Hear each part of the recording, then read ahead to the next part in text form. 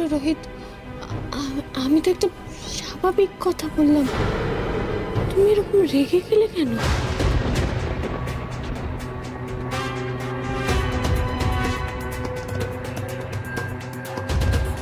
কই না তো আমি আমি রাগ করছি না তো আমি রাগ করব কেন? কিন্তু তোমার গলাটা তো ওরকমই শোনালো রোহিত। না না মানে তুমি হঠাৎ করে ওই ভারী ট্রাঙ্কটা বের করতে যাচ্ছিলে টেনে তাই হাতে কোমরে যদি ব্যথা লেগে যেত তাই আমি রিফ্লেক্সে চেঁচিয়ে ফেলেছি। আমি রাগ করিনি তো? রাগ করিনি আমি। কিন্তু ওই ট্রাঙ্কটাতে কি আছে বলো তো? পুরনো অকেজো জিনিসপত্র ছাড়া আর কি থাকবে ওখানে? পুরনো অকেজো জিনিস?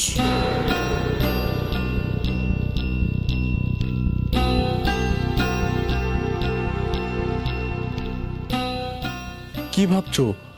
পুরনো জিনিস মানে কাকার অ্যান্টি জিনিস নয়, সব অকেজো। এবার চলো কাজের কাজটা করি, দেখি টাকাটা কোথায় গেছে।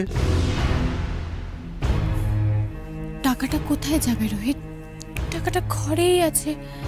আমি এটা বুঝতে পারছি না, তুমি তুমি কথাটাকে এড়িয়ে কেন যাচ্ছ? এতদিন পরেও কি আমাদের মধ্যে এমন কোনো জিনিস আছে যেটা আমরা দুজন দুজনের সামনে আনতে চাই না? এড়িয়ে যাচ্ছে আমার। তাহলে সত্যি করে বলো না রোহিত ওই ট্রাঙ্কটাতে কি আছে? তুমি আমার ভালোবাসার মানুষ সরস্বতী। আমার একটা কথাই কি তোমার কাছে শেষ কথা হতে পারে না? বেশ তাহলে আর প্রশ্ন করব না।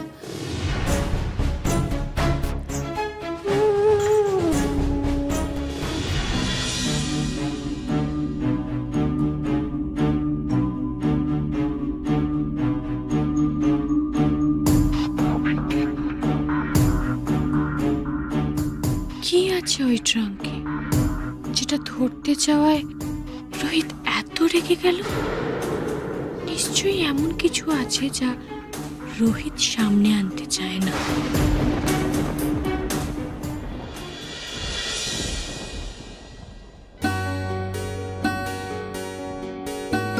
শোন তোকে একটা কথা বলি অত ভাবিস না।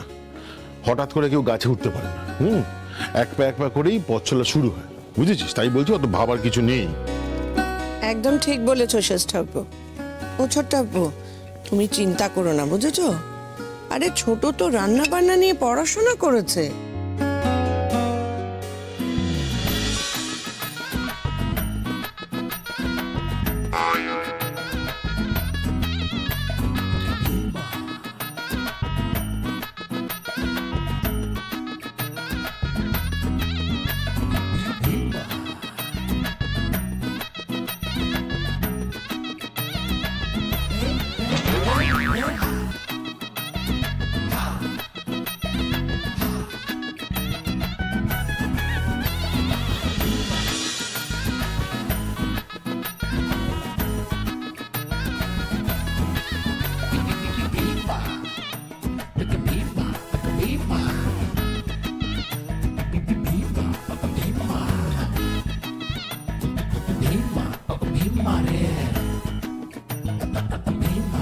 বড় বৌদি নিয়ে এসছি গো।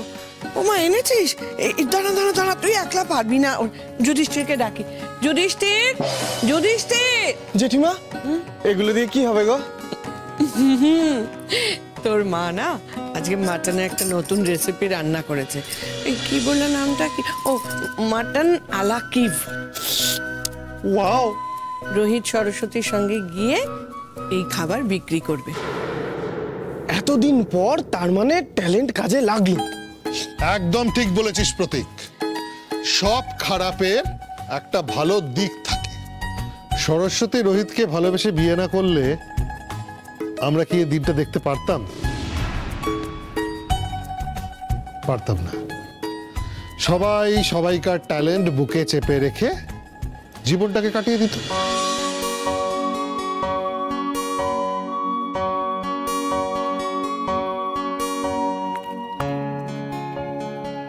বাড়ির বউ তাহলে শেষ পর্যন্ত পথে নামলো।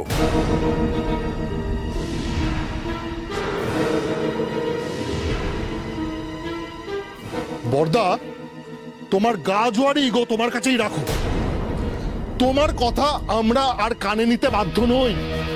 আর কোন সম্পর্কের কথা তুমি বলছো? সেন বাড়ির কার সাথে তোমার সম্পর্ক আছে বলতে পারো? আজকাল এক কাপ চা পর্যন্ত তোমাকে বাইরে থেকে আনিয়ে খেতে হচ্ছে। অথচ এ বাড়িতে যে কাউকে তুমি বললেই এক কাপ চা পেতে পারো। নিজের জায়গাটা কোথায় এনে হাজির করেছ বুঝতে পারছ? নিজের এমন জায়গা তৈরি করেছ যে এক কাপ চা পর্যন্ত চাইতে পারছ। সুদীপ, তোর কথা বলার কোনো অধিকার নেই। যেটুকু মান সম্মান আছে, সেটা ধরে রাখ না।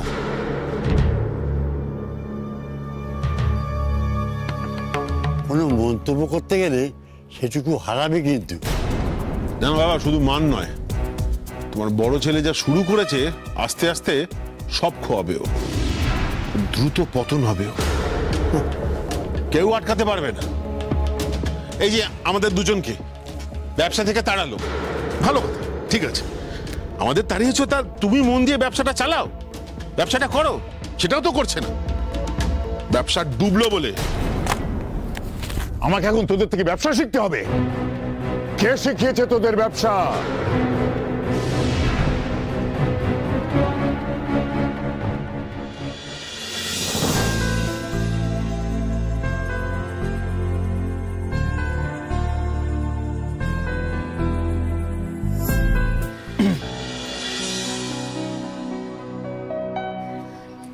শার্টের বোতাম খোলা কেন?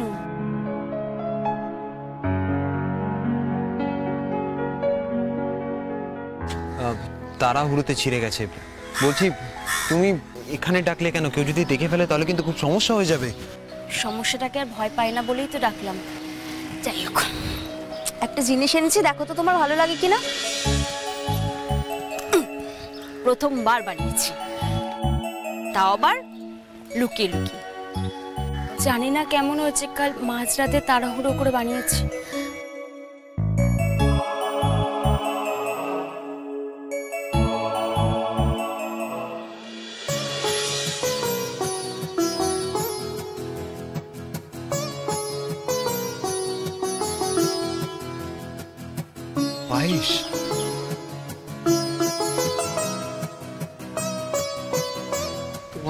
আছে যমুনা আজ আমার জন্মদিন।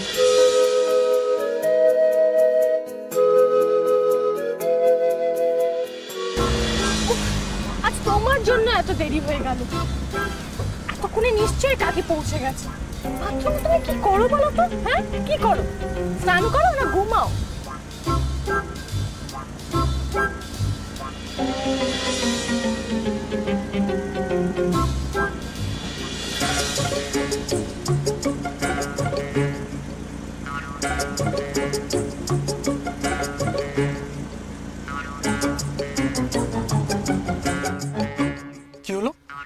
একদিন বেশি স্নান করার অপরাধে তুমি এমন রাস্তার মাঝে দাঁড় করে আমাকে পেটাবে নাকি?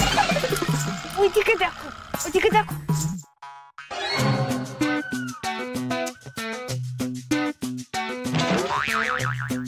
এটা কি?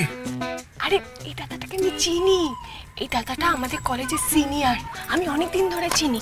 এতদিন ধরে যেটার অপেক্ষা করেছিলাম সেটা আজকে দেখতে পাচ্ছি। শুধু এটাই দেখার যে যেটা আমি ভাবছি সেটা সত্যি কিনা। চলো। চলো গিয়ে দেখি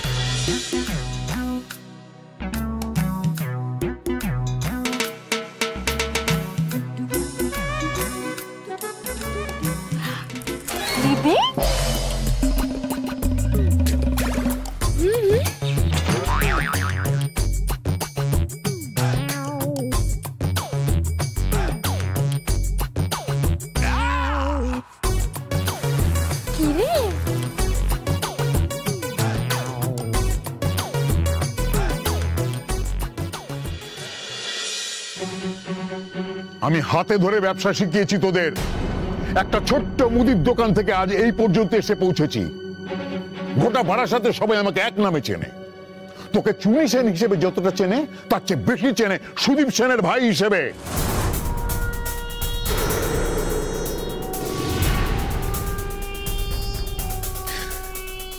কি বললে? মুদির দোকান। তাও আবার ছোট। আচ্ছা দাদা অনু যদি ছোট কিছু দিয়েই জীবনটা শুরু করে তোমার অসুবিধাটা কোথায় হ্যাঁ? তুমি তো প্রবালকে তার ব্যবসা থেকে তাড়িয়ে দিয়েছ। যদি কিছু না করে ওরা খাবে কি দাদা? তোমার পায়ে এসে পড়বে? ওরা যদি ঠিক পথে থাকতো তাহলে আজ ওদের এই দশা হতো না এই ভিখারির দশা হতো না। আমিও তোমাকে একটা কথা বলে দিচ্ছি আজীবন ওদের এই ভিকিরির দশা থাকবে না। আসছো। তোমার এখন কাজটা কি হ্যাঁ? সারাদিন কি করো তুমি? কীভাবে রোহিত আর সরস্বতীর জীবনে অশান্তির বীজ বোনা যায় সেটাই ভাবো। আরে ব্যবসা করতে গেলে মন দিতে হয় ব্যবসায়। মন দিয়ে ব্যবসাটা করতে হয়। আছে মন মন দিয়ে ব্যবসা করছ? করছ না। তাই তোমার ব্যবসা ডুববে।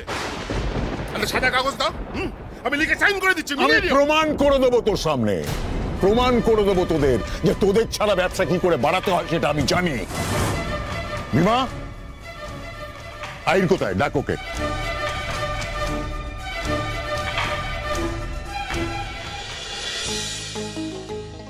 ভালো আছো আহিরদা হ্যাঁ আমি ভালো আছি। তুমি ভালো আছো? এমনিতে তো ভালোই আছি কিন্তু আমি যেটা ভাবছি সেটা যদি সত্যি হয় তাহলে ভীষণ ভালো থাকবে এবার তুমি বলো আমি কি ঠিক ভাবছি? হুম? তোমার দিদি ভয়কে জয় করতে পেরেছে। সত্যি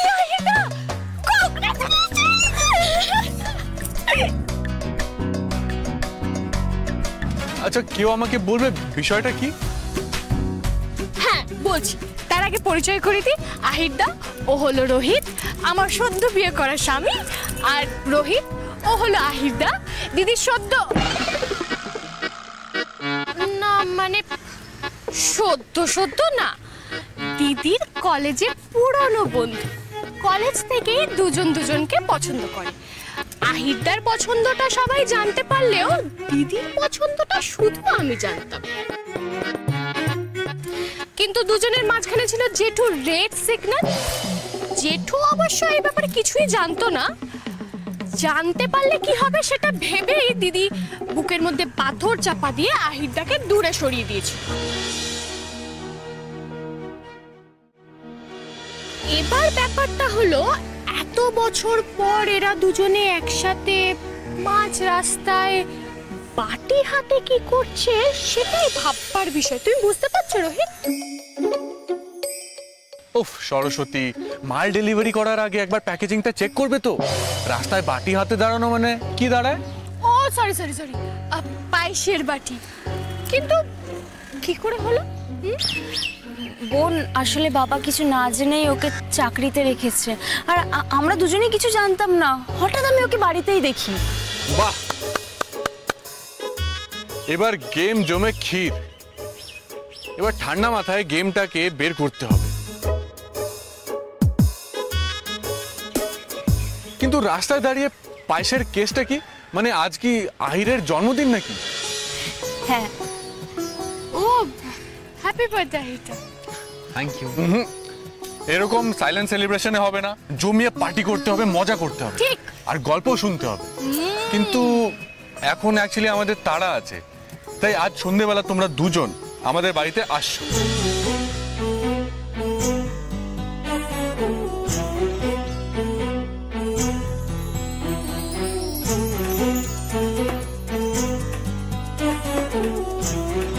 এটা আমার বাড়ির ঠিকানা। দেরি করো না। ঠিক সন্ধে সাড়ে সাতটায়। বোঝাতে পারলাম? চলে আসিস।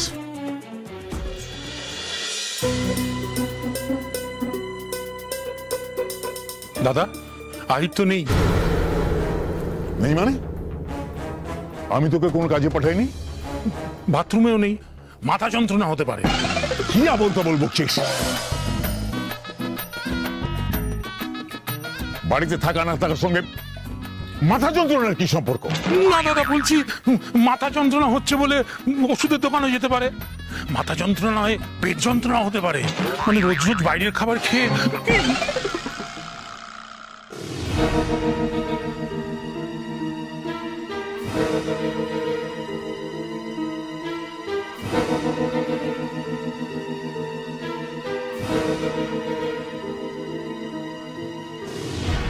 সুইচ গেল কোথায়?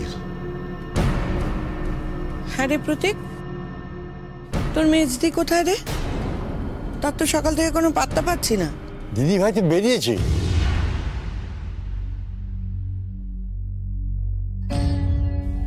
বেরিয়েছে? রোদের মধ্যে গেল কোথায়? কই আমাকে তো কিছু বলে দেয়নি। দাঁড়াও দাঁড়াও দাঁড়াও আমি দেখছি।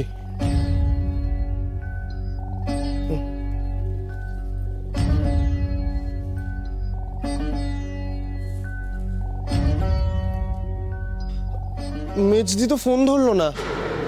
মনে হয় কোনো ইম্পর্টেন্ট মিটিংয়ে আছে। হুম, এক কাজ করি, আমি মেজদিকে মেসেজ করে দিই যে ফ্রি হলে যাতে ফোন করে।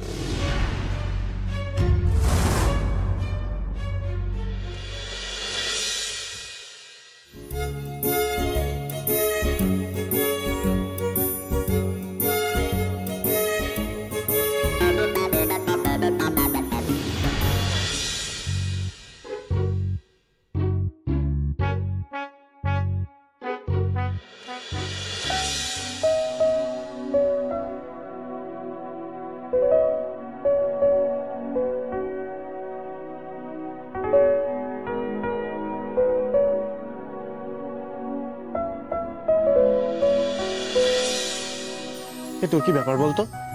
সকাল থেকেই দেখছি তুই কোনো প্ল্যানই শেয়ার করছিস না আমার সাথে। এই কোথায় যাচ্ছিস? আমার নেমন্তন্ন আছে। মেজদি? নিমন্ত্রণ কোথায় কোথায়? এই আমাকে নিয়ে যাবি না? ভাই তুই কি হ্যাংলা রে? তোর নেমন্তন্ন আছে যে তুই আমার সাথে যাবি? বারে আমি তো ছোটবেলা থেকে তোদের সঙ্গে সব জায়গায় গিয়েছি বিনা নেমন্তন্নে। ভাই দশ টাকার ফুচকা কিনলে একটা ফুচকা ফ্রি পাওয়া যায়। কিন্তু কোথাও শুনেছিস যে দশটা এগরোল কিনলে একটা এগরোল ফ্রি পাওয়া যায়। ভাই তুমি সেই ফ্রি ফুচকার নেই। তোমার দাড়ি হয়ে গেছে। ঠিক আছে। কথাটা যেন মনে থাকে। এরপর তুই একদিন বল মেজদি।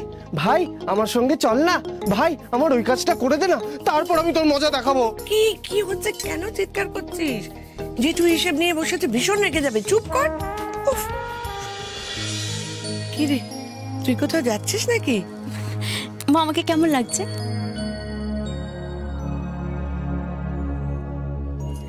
অনেকদিন পর আজ তোকে একদম অন্যরকম লাগছে। খুব সুন্দর লাগছে। শোন সব সময় এরকম সেজে গুজে থাকবি। কেমন? ঠিক আছে। কিন্তু কোথায় যাচ্ছিস সেটা বললি না তো? মা আমার একটা জায়গায় নেমন্তন্ন আছে। আমি আজকে রাতে খাব না ওখানেই খেয়ে নেব। ও তাহলে তো প্রতীকও খাবে না। যাই ছোটকে বলি গিয়ে। মা আসলে নেমন্তন্নটা শুধু আমার। ওর একা আমাকে নিয়ে যাচ্ছে না জেঠিমা? তুমি মাকে বলো আমি রাতে বাড়িতেই খাব। আর মাকে জানিও ওই বাজে ঘাসপুস যেগুলো বানায় ওসব বানাতে আমার যত কষ্টই হোক আমি খেয়ে নেব। ভাই কি? তুই স্নান করেছিস? টু টাইমস ওকে চল তাহলে সত্যি ওয়ান মিনিট আমি রেডি হয়ে আসি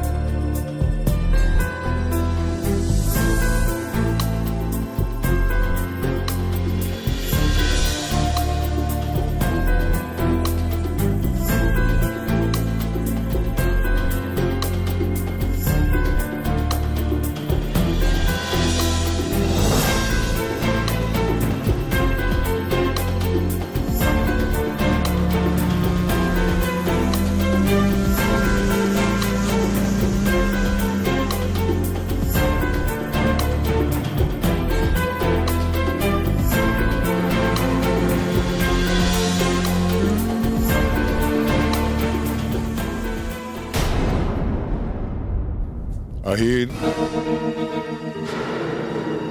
আবার কোথায় গেল? ফাইলটা সই করেছে তো?